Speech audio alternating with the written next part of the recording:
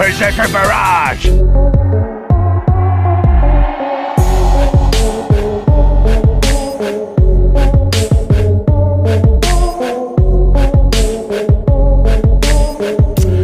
Como sabrán, bueno, la sección de noticias rápidas es imperdible aquí en el canal y en esta ocasión hay muy buenos chismorrongos que vamos a comentar. Como que por fin, gracias a Dios, el guion de Blade demuestra mejoras constantes, con mejoras, ¿cómo se le puede llamar? Pues buenas mejoras, sí, con, contables de calidad. Y bueno, que también Scarlet Witch, que habían dicho que no y que yo ya no vuelvo y que la rechingada y que a mí y que no sé qué dijo la señorita es Elizabeth Olsen, que se ve mejor que las gemelas Olsen, claro. Es la mejor, debo decirlo. Es la más guapa. Y pues ándale pues, que ella dijo que no, ¿no? Ah, es buena actriz, cabrón, para que nos haya echado mentiras en la jeta y todos, ah, ¿se la creyéramos? Dios, que sí es buena actriz, cabrón, ¿no? Sí, sí es buena, debo decirlo. Entonces, pues nos echó mentiras, pero no importa que nos mienta. Vamos. El Hollywood sin ideas sigue manifestándose. ¡Manifiéstate! Como Junior. Sí, el Hollywood con su carta de trampa. Y sí, Hollywood sin ideas ahora nos presenta que Sony prepara un remake de una de las mejores películas de Bill Murray. Si usted no la ha visto, véala y le va a cambiar la vida. No por Bill Murray, sino por la historia, que se llama Groundhog Day. O aquí en mi rancho se llama El Día de la Marmota. O también se le conoce como Hechizo en el Tiempo, una mamada así, ¿no? O Hechizo en el del...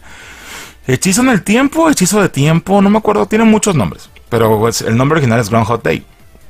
Y sí es de las mejores películas que podrá ver usted Bill Murray, debo decirlo, ¿no?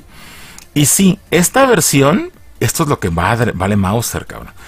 Va a ser inspirada en el musical que se lanzó hace un par de años, que la verdad en Broadway ni siquiera pegó, ¿no? Pero bueno. Y aún no hay elenco, pero les diré que quieren a Taron Egerton. Taron Egerton es una tolonga. Él estudió actuación, baile, canto y la chingada y puede hacerte todo al mismo tiempo, ¿no? Y de, paso hasta te, te pica el culo.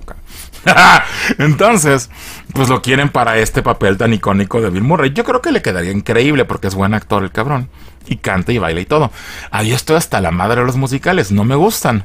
Y tampoco estoy de acuerdo que exista una nueva versión de esto, pero sin duda sería padre para que el nuevo público conociera este tipo de historia que es Die Live Repeat. Esta película inspira eso.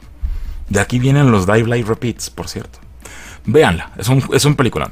Total, al parecer Netflix tiene el plan de producir, hablando de Hollywood sin ideas, el proyecto de Comando 2. ¿Se acuerdan de la película de Commando? De Arnold Schwarzenegger. La primera que es mala, cabrón, pero es de esas películas ochenteras de acción donde no tenías que pensar, solamente veías explosiones, balazos y Arnold mamadísimo hasta el rabo, cabrón, ¿no? Entonces, quiere Netflix pagar la producción del proyecto y que sea una secuela de la original. Y sí, ¿se acuerdan que la niñita que salía era Alisa Milano, la que salía en Charm, ¿se acuerdan? Esa era la hija que del era quien interpretaba a la hija de Arnold en esa película. Y quieren que regrese ella a este a interpretar de vuelta al personaje y Arnold a Matrix, que se llamaba Matrix, ese se llamaba el personaje, curiosamente. Entonces, sí, la historia desde ya quieren que sea sencilla, que vuelva a pasar lo mismo del original. O sea, es como búsqueda implacable con Arnold Schwarzenegger, ahora ya de viejo. Porque pues tendrá que volver a rescatar a la hija, ¿no? Eso es lo que se dice. Pues miren, la original es una joyita. Es, como dije, no es la mejor, es mala, pero es buena. Es buena. Mala, pero es buena. Entonces, pues a ver qué pasa. Pues ahora Arnold tiene contrato múltiple con Netflix, así que no dudo que la vaya a hacer, ¿no? Pero cuando el actor Chris Evans decidió borrar todas sus redes sociales tras recibir un montón de críticas por su último proyecto, esa cosa horrible. y luego, ¿por qué las borra, no? Es que está horrible esa madre asquerosa donde es un fantasma. ¿Cómo se llama? Ghosted. Con Ana de Armas. Qué porquería, cabrón. Este mencionó buscar una desconexión total de ya que tomara dicha decisión. Evans, de hecho, no es la única celebridad actual que recurre a este método en, la actualidad. Debo decirlo que ya hay varios, este, varias estrellas que han decidido quitar sus redes, ¿no? Porque, pues me imagino que los atacan todo el tiempo y, y eso como que le deprime. No sé, no sé. O lo atacan. Ah, ¿tú crees que no? Claro. Ustedes creerán que no lo atacarán por guapo, cabrón. Pero sí, claro, claro que lo atacan. Entonces, es que también la última película, no mames, pero, pero bueno, Chris Evans suele hacer esto, no es la primera vez que pasa. Pero bueno, aunque ya se había mencionado antes, al parecer Tom Cruise pretende revivir la franquicia de Days of Thunder. ¿Se acuerdan de esa película donde él sale de conductor de carros de carreras? Que ahí conoció a Nicole Kidman, según yo. Entonces, él quiere hacer una secuela al estilo, obviamente, de lo que hizo con Top Gun, porque después de Top Gun Maverick, que le fue increíblemente bien, pues esta podría irle exactamente igual, ¿no? Entonces, ya están haciendo el guion y quieren filmarla en 2024. Obviamente, él quiere ser el productor de todo, para que todo el billete le entre a él. Pendejo no es. Muy listo. Entonces, este proyecto es el que quiere hacer. No sé cuándo lo va a hacer porque está súper ocupado, pero sí lo quiere hacer y sí otra vez vuelve a sonar que quiere realizarlo él como productor. Vamos a ver si sucede, ¿no? Total, al parecer los planes de la serie ya cancelada de Indiana Jones, porque ya está cancelada, la idea era mostrar a un joven indie Indiana Jones en sus primeras aventuras. Obviamente para eso tendrían que poner a un joven actor, que es algo que tampoco no le gustaba a Harrison Ford, porque él decía que él es el único Indiana Jones, ¿no? Entonces, por diversos motivos, o evidentemente obvios, ¿no? Que la película le fue de súper de la chingada, pues obviamente ya se descartó, ¿no? O sea, ya descartaron hacer la serie, ya descartaron todo esto. Entonces no va a haber, y ahí muere, y ya están, ya, ya dejan a Indiana Jones en paz, ¿no? Esta ya fue la última, y qué bueno, cabrón. Qué bueno que ya se acabó. Este, me da gusto. Porque fue terrible. Yo estaba en el cine de, ay, es terrible. Luego la otra tipo es terrible. La reseña está aquí en el canal. Pero bueno, desde ya el director Denis Villeneuve tiene plan, plan mes. ¿Qué son los plan mes, cabrón? Planes para la tercera entrega de Dune o Duna. Lamentablemente, se necesita que la segunda entrega, que de hecho ya llega este mismo año y que acaba de salir el trailer y que lo vi y no me gustó, pero bueno, tiene que ser un total éxito para poder recibir luz verde. O sea, que ya valió Berta. no creo que le vaya a ir bien a esta segunda película, sobre todo por cómo está el cine en la actualidad. A la primera le fue bien de panzazo y a esta no creo que le vaya a ir mejor, debo ser sincero, ¿no? Yo lo veo muy difícil, veo que va a ser muy complicado por la situación actual de los cines. la poca popularidad de la primera entrega no ayuda. Y esta se ve exactamente igual, cabrón. O sea, esta película tenía que haberse visto como, ¿se acuerdan? Si vieron la película original, ¿se acuerdan que hay como una escena donde ellos se ven muy futuristas? Se ve con, con las ropas en color negro muy chingones y con un look muy estilizado, que es una escena muy corta. Pues yo quería llegar a ver ese punto de, de la película y no que se viera como la primera, que no se luce ni un solo cambio. ¿No?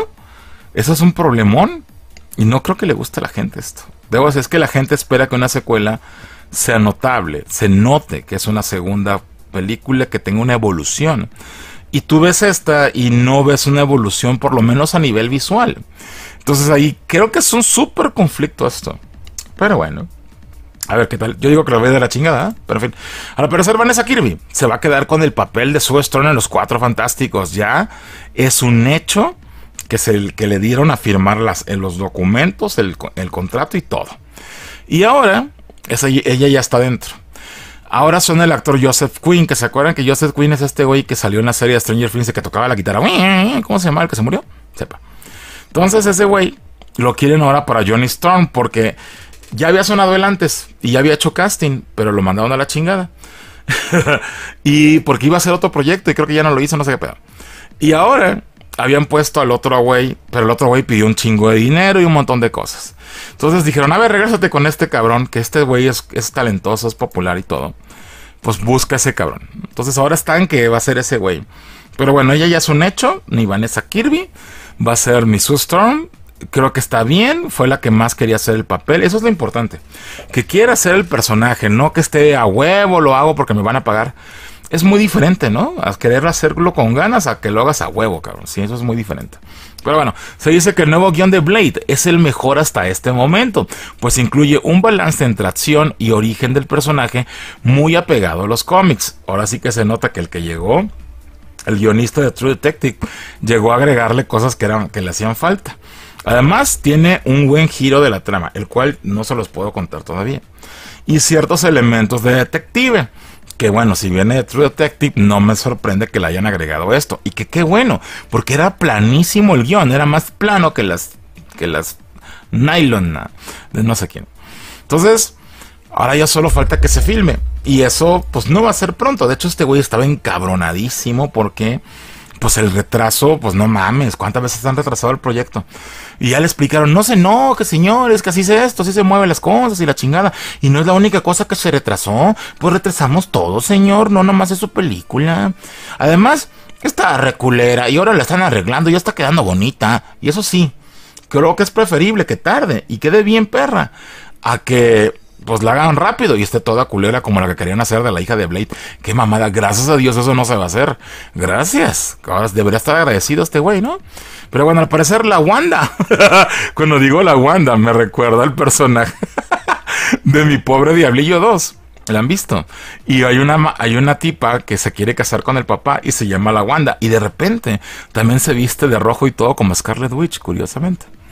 Bueno, total, la Wanda que veremos en la serie de Agatha Coven of Chaos será la del universo 616. Pero espérense, aquí hay algo raro. Porque todavía es 616.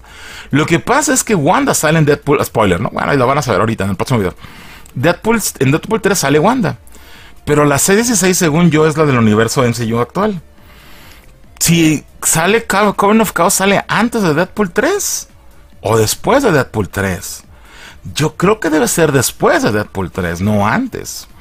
Entonces, quiere decir que aquí está mal. Esta Wanda que sale en Coven of Chaos no es la 616, sino es la 838.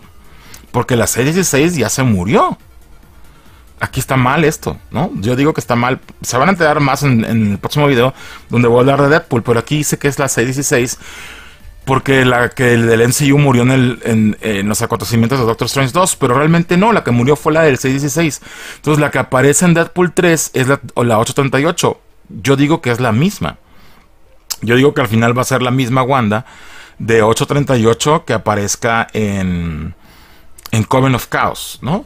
¿Por qué? Es que es un desmadre de explicación que se los tengo que contar en Deadpool, en el, próximo video donde voy a hablar de la trama de Deadpool, porque ahí regresa Scarlet Witch. No que nos había dicho que no iba a regresar nunca, así es, va a regresar en forma de fichas en forma de todo. Sí, hablando de la actriz Elizabeth Olsen, que se ve piruetísima y se ve mejor que las gemelas Olsen, había fingido que no regresaría pronto a interpretar a su personaje de Wanda es decir, Scarlet Witch.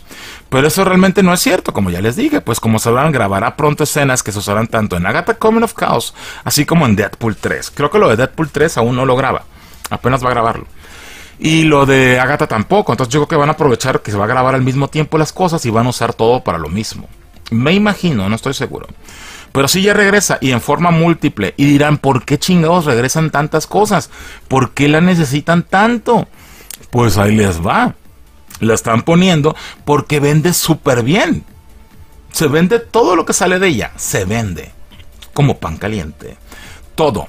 O sea, vende muy bien. O sea, vende a nivel de un, o sea, de un Hulk.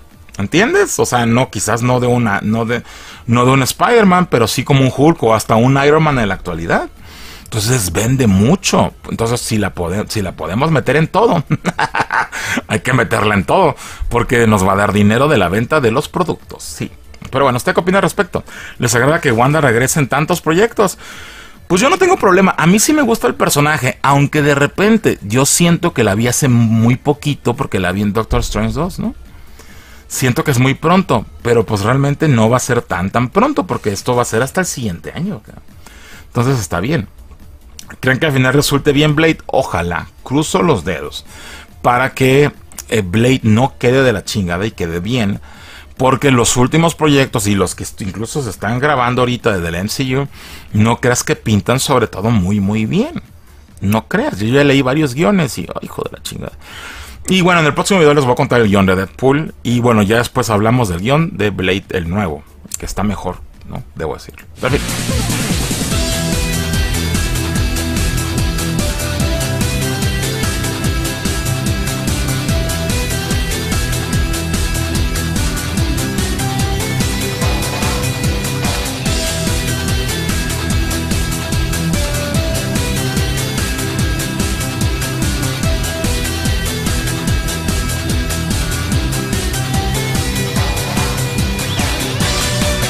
Berserker Barrage.